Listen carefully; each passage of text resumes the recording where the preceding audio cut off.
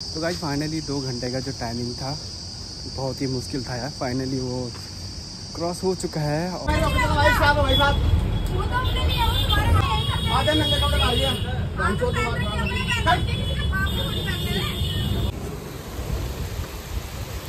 ये देखो कितनी मस्त बारिश हो रही है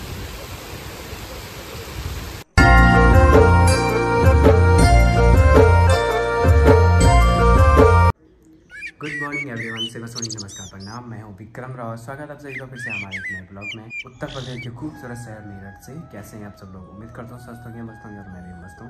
और गाइज़ आज पहली बार मेरा उत्तर प्रदेश में ब्लॉग की शुरुआत हो रही है। और ब्लॉग की शुरुआत हो रही मॉर्निंग छः बजे से और मैं तो उठ गया था सुबह पाँच बजे क्योंकि थोड़ा नहाया धोया और थोड़ी सी तैयारी करी। क्योंकि आप लोगों को पता है कि मैं यहाँ पे किस चीज़ के लिए आया हूँ। तो मैंने थोड़ा सी पढ़ाई पढ़ाई करी और फिर अब थोड़ा सा अपने लिए चाय चुई बनाता हूँ। तो कैसे हैं आप सब लोग?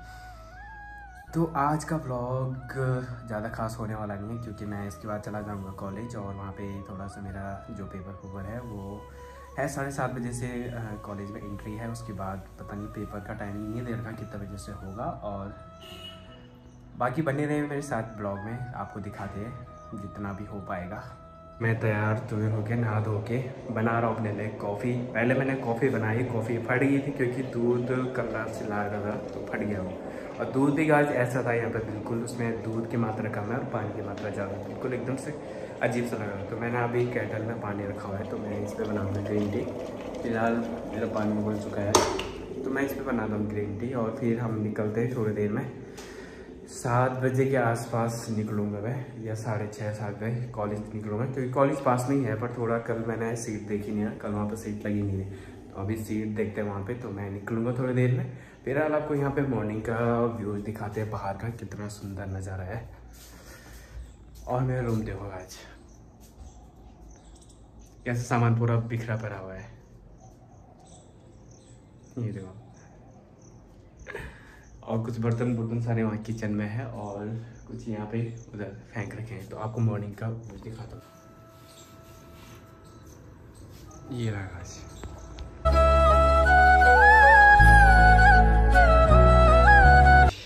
तो यहाँ पे सारा अवेलेबल है, जो भी आपको चाहिए। कॉफ़ी, एक दूध वाला पाउडर है।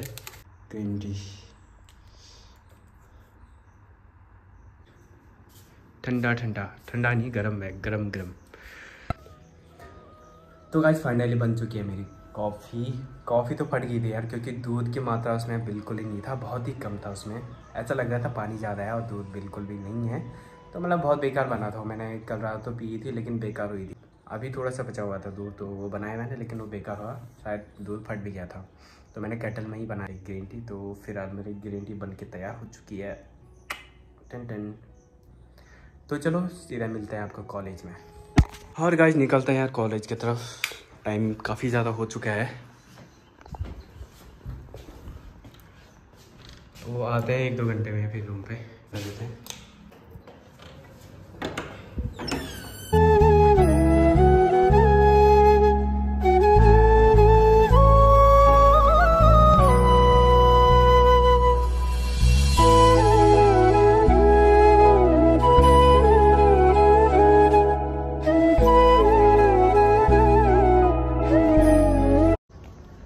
फाइनली पहुँच चुका हूँ मैं कॉलेज में और अभी ये टाइम सवा सात हो रहा है, पंद्रह मिनट और बाकी है। तो आप, मेरे को पूरा यहाँ आने में, पता बीस से पच्चीस मिनट लग गया। तो आपको दिखाते हैं फाइनली लड़के लोग आ चुके हैं।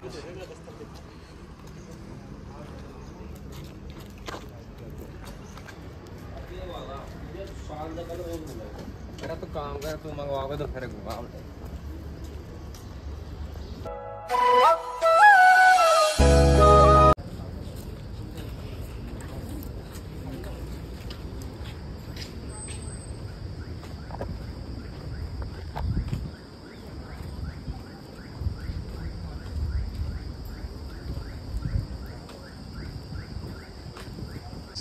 तो फाइनली दो घंटे का जो टाइमिंग था, बहुत ही मुश्किल था यार। फाइनली वो क्रॉस हो चुका है और अब क्या ही बताएँ पेपर के बारे में कैसा आया था। ऐसा लग रहा था वहाँ से पेपर छूट के, ऐसा लग रहा सारा लुट फुट के आगे होंगे, क्योंकि वहाँ पे न क्वेश्चन पेपर मिला, न एडमिट कार्ड मिला, कुछ भी नहीं मिला। जो जो ले गया था, सारा वहीं पर जमा हो गया क्योंकि पेपर ऑनलाइन था। तो सारा कंप्यूटर में ही हुआ। तो सच में यार पेपर तो अब क्या ही बताएँ। दिखाते हैं आपको।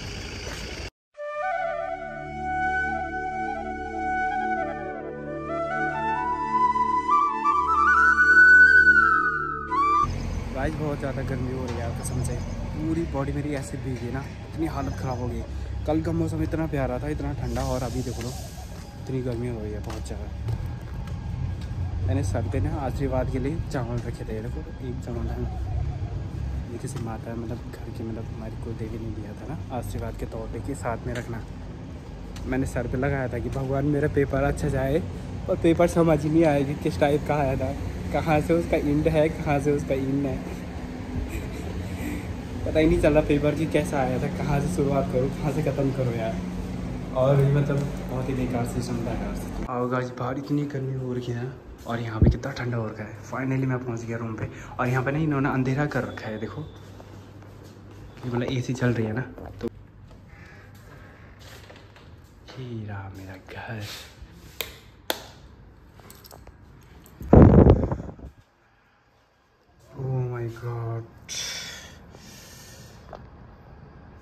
तो गाइस अभी टाइम हो चुका है दो और मैं कॉलेज आने के बाद ना सो गया था, क्योंकि बहुत तेज़ गर्मी हुई।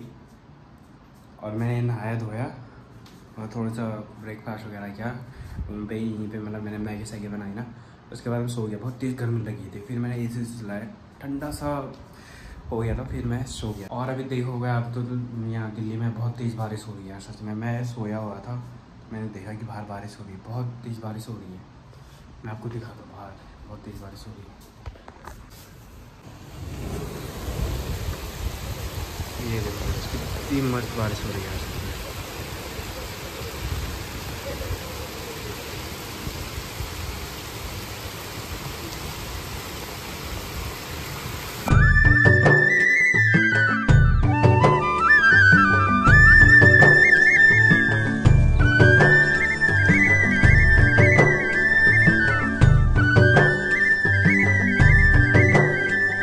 समझ नहीं आ रहा है कि मैं कैसे जाऊँ, यहाँ से बाहर? मेरे पास छाता भी नहीं है। और बाहर देखा होगा आपने, पूरा यहाँ घुटने तक ना पानी भरा हुआ है। मुझे समझ नहीं रहा मैं कैसे जाऊँ। और मुझे चेकआउट भी करना था ग्यारह बजे। और यहाँ से मेन रोड बाहर काफ़ी दूर है। मतलब है दो तीन सौ मीटर है यहाँ से बाहर। तो इसमें तेज़ बारिश में तो इंसान तो पूरा ही भीग जाएगा यार। और गाइज़ आज का पेपर जो था वो 200 नंबर का था और दो घंटे का था।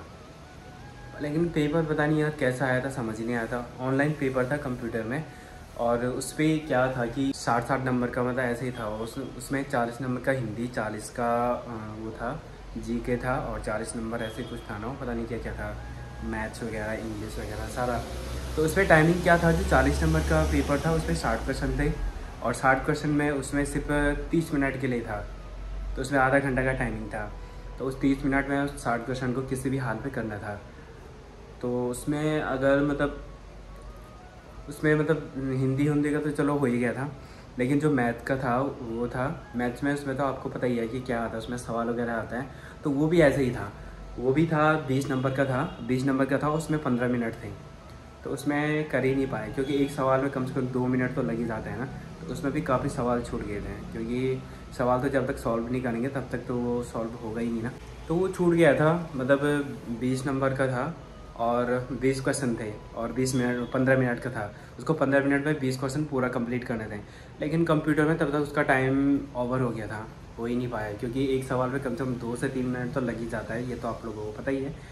और पेपर जो मेरा था, वो था कोऑपरेटिव बैंक का, और तुम्हें तो पता ही है बैंक में ज़्यादातर सवाल ही आते हैं। पर जी के गया होगा थोड़ा बहुत सही, बाकी मैथ्स का तो सही गया ही नहीं। मैथ्स का मतलब जितना सवाल किए हैं, उतने तो सही गए होंगे, लेकिन मैथ्स का जो हमारा क्वेश्चन था बीस नंबर का था और पंद्रह मिनट के लिए टाइमिंग था उसमें और बीस बीस ही क्वेश्चन था उसमें।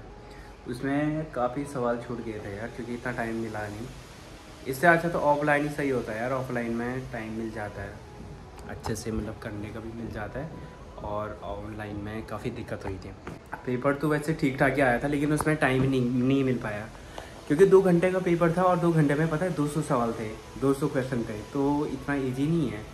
200 क्वेश्चन करना दो घंटे में, वो भी ऑनलाइन तो काफ़ी वो थी, आप देखते हैं रिज़ल्ट एक दो महीने में रिज़ल्ट आएगा, तभी पता चलेगा मेरा पेपर कैसे गया था और कैसा आया था। और प्लस जो हमारा एडमिट कार्ड था, उस पर भी वो भी वहीं जमा हुआ। और जो हमारा आईडी प्रूफ था, वो भी वहीं जमा हुआ। तो ऑनलाइन पेपर में शायद ऐसा ही होता होगा। ऑनलाइन पेपर मैंने इससे पहले ये बहुत पहले दिया था एक बार। उसके बाद मैं अभी दे रहा हूँ सेकेंड बार। लेकिन इस टाइम का जो रूल था, वो अलग ही था। तो गाइस किस किस ने भरा था फॉर्म और कौन कौन किस किस ने दिया और कौन नहीं दे पाया? कमेंट सेक्शन में ज़रूर बताएँ। और किसका यहाँ दिल्ली में सेंटर पड़ा था? ये सुभारती यूनिवर्सिटी में। तो वैसे देहरादून से मैंने जब परसों एक वीडियो देखा था, मैंने यूट्यूब पे किसने वीडियो डाली थी तो उस पर बहुत सारे लड़के ने डाल रखा था कमेंट्स करके कि मेरा भी है, मेरा भी करके। तो उन लड़कों ने कहा कि यार साथ में चलते हैं। तो उन्होंने कमेंट्स करा हुआ था। लेकिन किसी ने नंबर मांगा था, किसी ने नंबर दिया नहीं तो शायद पता नहीं वो लड़के साथ में गए नहीं गए, पर लेकिन काफ़ी थे देहरादून से भी तो अभी तो मौसम काफ़ी ठंडा हो चुका है। जैसे बारिश बंद होती वैसे मैं देहरादून के लिए निकलता हूँ। तो यार, गाड़ी की व्यवस्था नहीं हो पा रही है। पता नहीं बस में कैसे जाऊँ, मिलेगी नहीं मिलेगी।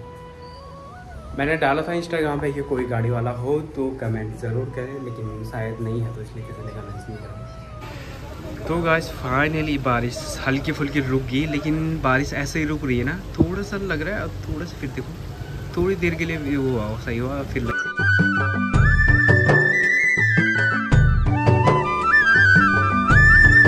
बारिश बंद हो गई है, देखो।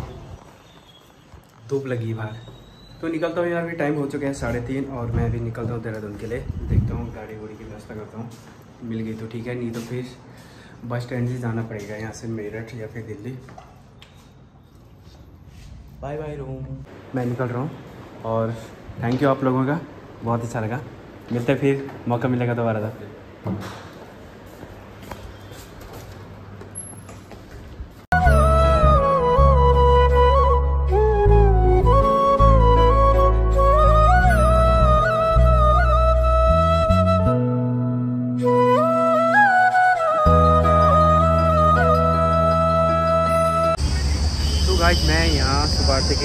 के यूनिवर्सिटी गेट के पास हूँ लेकिन यहाँ पे इतनी तेज़ गर्मी हो रही है ना।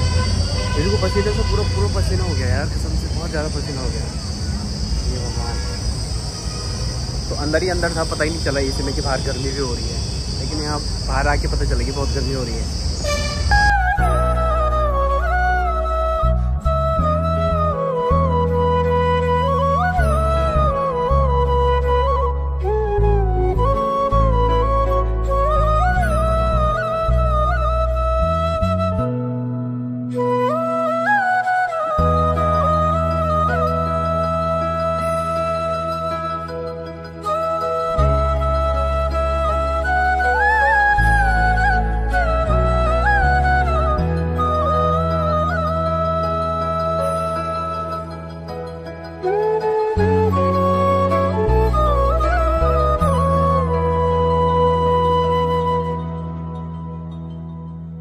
गाय अभी हम आधे रास्ते में पहुँच गए और यहाँ पे थोड़ा चाय, नाश्ता, पानी खा रहे हैं लोग, लेकिन यहाँ पे दिल्ली में ना मौसम बहुत ही गर्म है यार, सच में। यहाँ का टेम्परेचर आपको पता ही है कितना ज़्यादा है और काफ़ी ज़्यादा गर्मी हो रही है। ये तो मैं खैर देख रखा हूँ इतना सारा। बहुत गर्मी हो रही है बहुत बुरी हालत है। तो बने रहे ब्लॉग में तो मैं आपको दिखा दूँ आगे।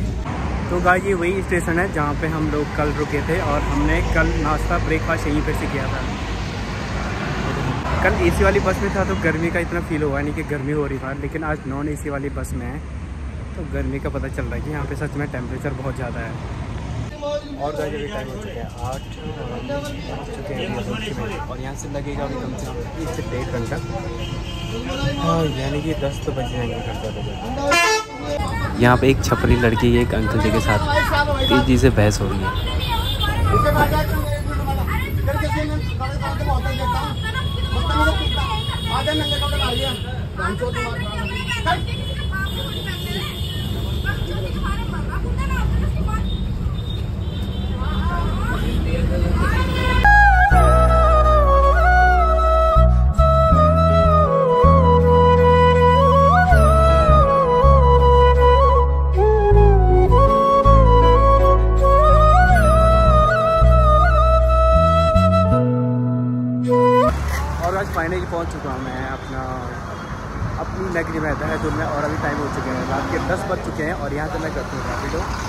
मैंने रैपिडो कर लिया, आ ही गया होगा। तो देखते हैं। तो गाइस फाइनली मेरी रैपिडो आ चुकी है और मैं चलता हूँ घूमने की तरफ़। और अभी तो बच्चे टाइम बहुत ज़्यादा ही है। तो रैपिडो में थोड़ा जल्दी पहुँच जाएँगे जब पहुँच के थोड़ा खाना पीना खाएँगे, क्योंकि आप लोगों को पता है दो दिन से मैगी खा कर पूरी बॉडी ठंड कर